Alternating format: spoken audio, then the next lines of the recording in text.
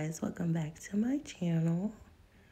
So today i'm just gonna do a quick beginner friendly lip gloss over liner. So first you want to start off with dry clean lips. Here's the lip gloss that i'll be using. And here is the liner that i will be using as well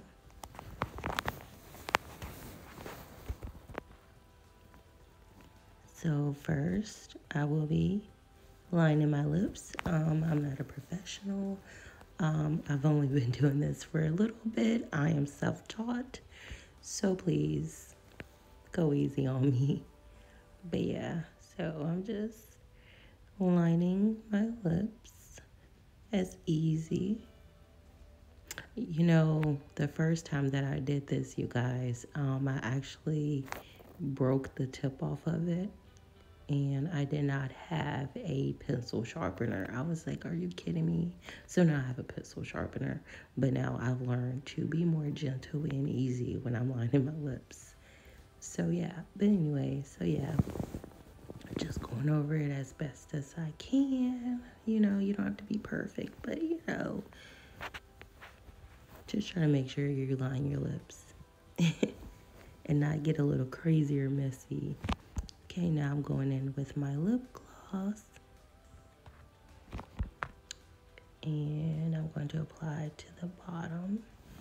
And again, I'm not perfect, and so I'm not applying it perfect. You know, of course, you know, made a few mistakes, you know, the first couple of times. But I mean, I think I'm getting pretty, pretty decent at it. Um, so yeah, so I'm just reapplying it once again at the bottom. And as you can see, I do have a little extra at the bottom.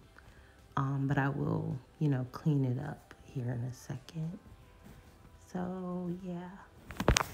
There I go. Leaving to get a piece of tissue so I can clean that up really quickly for you guys see. But it's okay, you know.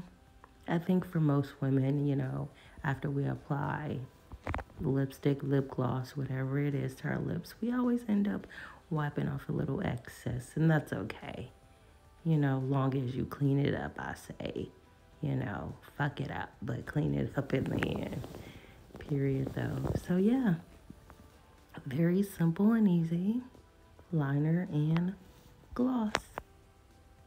Thanks for watching. Like, comment, and subscribe.